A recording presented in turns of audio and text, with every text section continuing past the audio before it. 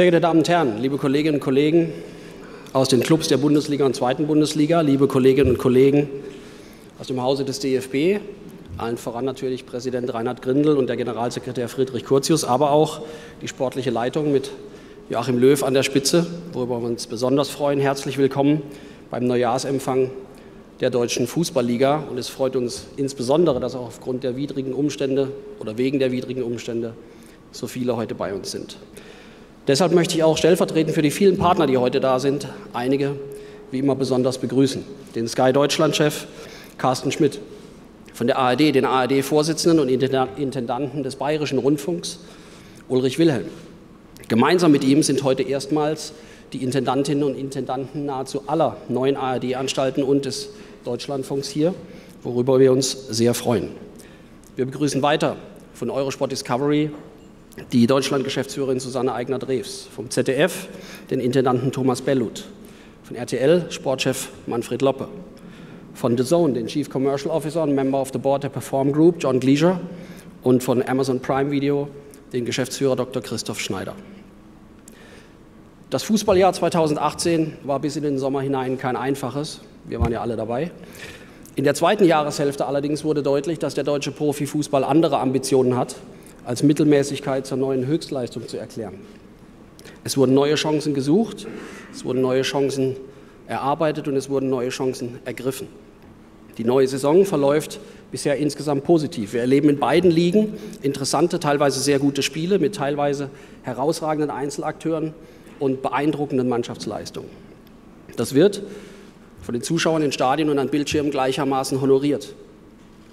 Die Stadien sind weiter gut gefüllt, die Quoten unserer Partner sind auf einem hohen Niveau. Zum Ende der Vorrunde verzeichnete das ZDF mit dem Free-TV-Spiel Dortmund gegen Mönchengladbach mit sieben Millionen Zuschauern eine hervorragende Resonanz. Worauf wir uns wie zahlreiche deutsche Unternehmen einstellen müssen, ist, dass Menschen in ihrer Freizeit immer stärker abwägen, wofür sie ihr Geld und ihre Zeit investieren. Natürlich spielen dabei gerade im Bereich der Medien die zunehmende Konkurrenz für das lineare Fernsehen eine Rolle. Hinzu kommen immer neue, zeitlich flexibel abrufbare und vor allem zunehmend hochwertige Unterhaltungsangebote. Es stimmt, es wurde noch nie so viel investiert in Sport, aber eben auch in fiktionale Inhalte wie Filme und Serien. Die 90 Minuten eines Fußballspiels sind begrenzt. Zunehmend unbegrenzt sind aber die Möglichkeiten, diese 90 Minuten zu verbringen. Und dem kann eine Sportliga dauerhaft am besten begegnen durch hochklassigen Sport, durch eine erstklassige mediale Aufbereitung und immer wieder aufs Neue, durch positive individuelle Erlebnisse für jeden einzelnen Zuschauer im Stadion oder am Bildschirm. Und deshalb ist es gut, dass neben Spannung in allen Tabellenregionen beider Ligen fünf der sieben deutschen Starter in internationalen Wettbewerben weiterhin mit dabei sind, vier davon als Gruppensieger. Die Bundesliga ist weiterhin, wie im Jahr 2018, die Fußballliga mit dem zweithöchsten Umsatz der Welt. Und auch die zweite Liga verfügt über deutlich mehr finanzielle Mittel als die meisten europäischen Ligen und erst recht als die meisten zweiten Ligen. Und deshalb muss es unser aller Ambition sein, gegenüber Fans, gegenüber Medien, gegenüber Sponsoren, dass man das auch auf dem Platz sieht. Und das muss unsere, aller, unsere Ambition sein, vor allem gegenüber uns selbst. So wie das bisher in der Gesamtbetrachtung der laufenden Saison gut gelungen ist. Worüber wir uns sportlich ebenfalls freuen, ist, die Europameisterschaft 2024 wird in Deutschland stattfinden. Der DFB hat mit einer sehr guten Bewerbung die UEFA überzeugt und DFL und ihre Clubs haben das von Beginn an aus voller Überzeugung unterstützt, weil es dem gesamten Fußball in, Deutschland nutzt, weil es dem gesamten Sport in Deutschland nutzt, so wie derzeit auch die Handball-WM. Unser Dank gilt daher, lieber Herr Grindel, Ihnen und dem DFB. Sie haben hier einen wirklich guten Job gemacht. Was ich in diesem Zusammenhang ebenfalls betonen möchte, der DFB genießt durch jahrzehntelange Verlässlichkeit und durch eine herausragend organisierte WM 2006 weiterhin in vielen Ländern ein hohes Vertrauen. Und deshalb danke ich an dieser Stelle im Namen der DFL ausdrücklich auch Wolfgang Niersbach für seinen Anteil an diesem Erfolg. Auch die DFL als Organisation hat Chancen ergriffen und Weichen gestellt für die Zukunft. Als erste große Fußballliga haben wir für ein globales Fachpublikum die Veranstaltung Sports Innovation ins Leben gerufen, gemeinsam mit der Messe Düsseldorf. Hier wurden im internationalen Rahmen sportbezogene Medientechnologien für ein internationales Fachpublikum präsentiert. Viele von Ihnen waren vor Ort und haben sich selbst ein Bild gemacht. Die DFL ist heute eines der innovativsten Medienunternehmen Deutschlands und ganz sicher das internationalste mit über 200 Ländern, in die wir regelmäßig ausstrahlen. Unter den Sportligen gilt die DFL zwischenzeitlich neben der NBA als diejenige mit dem größten Medien-Know-how. Auch deshalb haben wir vor einigen Wochen eine Neuauflage der Sports Innovation für 2020 angekündigt. Wir werden diese Veranstaltung weiter aufwerten. Lassen Sie sich überraschen, was Sie da sehen werden. Einen neuen Weg eingeschlagen haben wir auch mit dem Programm DFL for Equity. Ziel ist es dabei, unser über Jahre hinweg aufgebautes Wissen, unsere internationalen Netzwerke, aber auch Daten- und Bildarchive einzubringen in, in vielversprechende Start-up-Unternehmen. Eine erste Beteiligung wurde bereits realisiert. Das israelische Startup Track 160 arbeitet daran, durch eine rein optische Bilderfassung in Verbindung mit künstlicher Intelligenz ganz neue Anwendungen von Sportdaten für Profiklubs, aber auch für Amateurclubs und Medienunternehmen zu entwickeln. Mit weiteren potenziellen Beteiligungen sind wir im Gespräch und wir gehen davon aus, dass wir im ersten Halbjahr 2019 einen weiteren Vollzug melden. Und ich wiederhole das hier gerne. Andere Ligen haben zehn Anstoßzeiten. Ich hätte lieber zehn erfolgreiche Unternehmensbeteiligungen. Im E-Football ist die DFL seit 2012 Vorreiter und wird diese Position weiter ausbauen. In diesem Jahr wird erstmals die deutsche Clubmeisterschaft ausgetragen. 22 Clubs aus Bundesliga und zweiter Bundesliga sind am Start. Schon heute vernehmen wir ein großes Interesse von Fans, von Spielern und von Medien. Beim parallel stattfindenden Wettbewerb für Privatspieler, der Tag Heuer Virtual Bundesliga, haben allein im letzten Jahr 150.000 Spieler teilgenommen. E-Football ist zwischenzeitlich ein Phänomen für ein Millionenpublikum rund um den Globus und wir tun gut daran, auch in diesem Bereich aktiv zu gestalten, bevor es andere tun. Gleichzeitig hat die DFL ihre internationale Präsenz verstärkt. Wir waren 2012 die erste Fußballliga überhaupt, die ein Büro in Asien eröffnet hat. Aus unserem Büro in Singapur betreuen wir etwa ein Dutzend asiatische Märkte. Wir haben im Oktober letzten Jahres eine weitere Repräsentanz in New York eröffnet, die für den amerikanischen Kontinent zuständig sein wird. Wir haben im Dezember eine weitreichende Marketingkooperation in Indien verkündet und wir werden im Frühjahr diesen Jahres eine weitere Außenstelle eröffnen in Peking.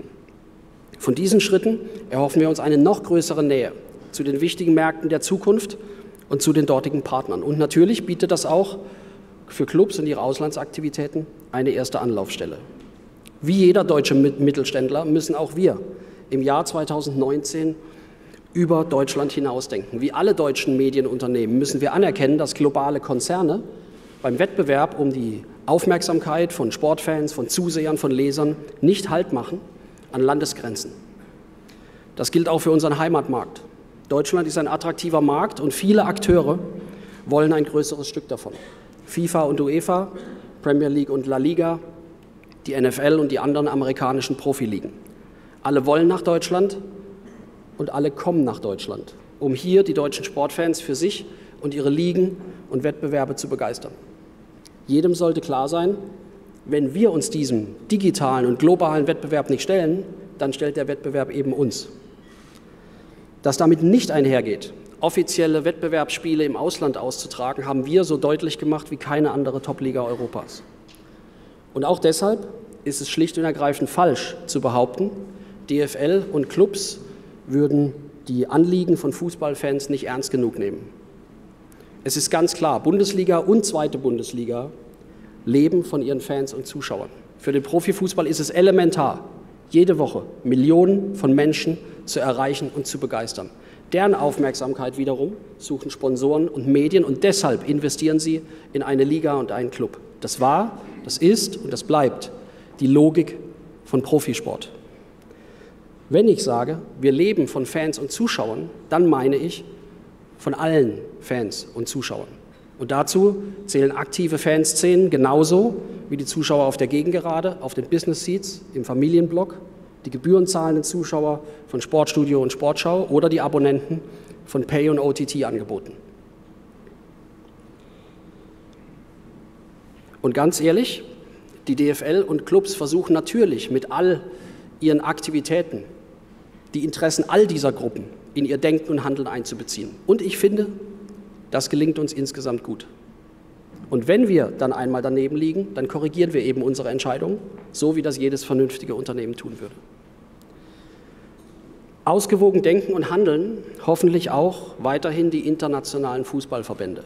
Und um es klar zu sagen, wir beurteilen die möglicherweise weiter ausufernden Wettbewerbsideen sehr kritisch.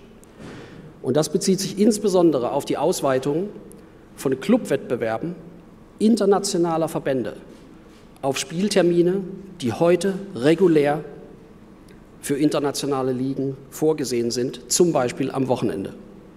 Sollte diese rote Linie überschritten werden, sollte diese wirklich fallen, dann werden auch wir juristische, Prüf, juristische Schritte prüfen müssen. Das Wochenende muss den nationalen Ligen gehören. Sie sind die Herzkammer des professionellen Fußballs und es wäre nicht zu akzeptieren, wenn durch solche Maßnahmen ein gesamtes nationales Sportgefüge im Kern erschüttert würde. Und das würde es. Denn die Auswirkungen auf Spielpläne in allen Ligen, auf Spielansetzungen in allen Ligen, auf die Sponsorenverträge von Clubs, auf die Medienverträge von allen Ligen, die darauf fußende Solidarität zwischen Bundesliga und zweiter Bundesliga, zwischen Profisport und Amateursport, sie würde im Kern erschüttert. Die Auswirkungen darauf wären negativ, immens negativ. In diesem Zusammenhang möchte ich eines jedoch betonen. Bei der Debatte um eine angeblich geplante europäische Superliga haben sich die beiden Topclubs aus Deutschland eindeutig zu ihrer nationalen Liga bekannt. Das waren klare Worte, die man so nicht von vielen Topclubs in Europa vernommen hat. Ich sprach eben von Ambitionen. Der deutsche Profifußball hat Ambitionen. Echte Ambitionen brauchen aber eine Richtung. Sonst endet man irgendwie im eifrigen, aber doch ziemlich wenig zielgerichteten Aktionismus. Die Ambition der DFL als Ganzes sollte klar sein. Wir haben es gemeinsam geschafft, zwei der zehn größten Profiligen, Profifußballligen Europas hervorzubringen. Die Bundesliga ist heute eine der größten Sportligen der Welt. Dieses Niveau zu halten, erfordert große Anstrengungen von Clubs und von Ligaorganisationen gleichermaßen. Die Liga ist dabei verantwortlich für den Rahmen, in dem jeder Club seine individuelle Ambition anhand seiner individuellen Strategie verwirklicht. Und genau deshalb hat die DFL in die genannten Zukunftsthemen investiert. In eine weltweite Sichtbarkeit, in die Nähe zu relevanten Märkten der Zukunft, in neue Geschäftsmodelle und in digitale Ideen. Denn der Rahmen, von dem ich eben sprach, der wird komplexer, er wird digitaler und damit globaler. Einfache Antworten darauf, was man denn tun sollte, bekommt man schnell. Sie klingen auch meistens gut, sind aber meistens komplett ungeeignet, um auch nur mittelfristig eine tragfähige Lösung hervorzubringen. Und es muss uns allen bewusst sein, gesellschaftliche, technologische, mediale Entwicklungen machen die Herausforderung, Profisport in eine erfolgreiche Zukunft zu führen, immer anspruchsvoller. Und in dieser Zukunft erwarten uns diverse Herausforderungen, von denen wir einige heute schon sehen können. Der zunehmende nationale und internationale Wettbewerb um Sportfans, um Medien, um Sponsoren. Die Interessensunterschiede zwischen Ligen, die Interessensunterschieden zwischen Ligen und Verbänden, die Zukunft der 50 plus 1 Regel, um nur einige zu nennen. Augenmaß, Fakten, gesunder Menschenverstand und sachliche Diskussionen werden im Umgang mit solchen Themen, aber vor allem im Umgang miteinander mehr denn je gefragt sein. Herr Raubal? Er ist da, ich weiß es, ich habe ihn gesehen. Sie haben inmitten dieser Gemengelage in den letzten elf Jahren das Miteinander aller Clubs hervorragend und stets mit ganz großer Seriosität moderiert und haben gleichzeitig der DFL und damit auch mir persönlich sehr viel Freiraum gelassen für unternehmerisches Handeln. Sie werden im Sommer nicht erneut für eine Wahl zur Verfügung stehen. Heute ist es noch ein bisschen früh für einen Abschied. Wir haben schließlich noch einiges zu tun. Aber im Namen aller Mitarbeiterinnen und Mitarbeiter der DFL und auch in meinem Namen möchte ich Ihnen ganz herzlich Danke sagen.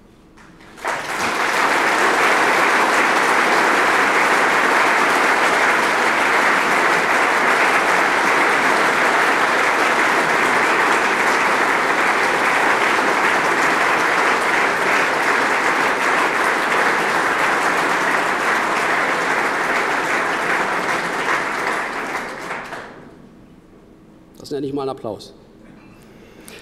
Sie haben ihn aber auch verdient, mehr als das. Wir sind gut beraten, wenn wir unseren Weg der vergangenen Jahre, einen Weg der Vernunft und des Miteinanders weitergehen. Aber wir müssen ambitioniert bleiben. Hochleistungssport ohne Hochleistungsanspruch kann auf Dauer nicht erfolgreich sein. Gehen wir aber diesen Weg und gehen wir ihn konsequent, dann werden wir unseren Sport und dann werden wir auch unsere Wettbewerbe in eine erfolgreiche Zukunft führen, weil wir Menschen weiterhin begeistern werden. So wie in den allermeisten Jahren seit 1963. Vielen Dank.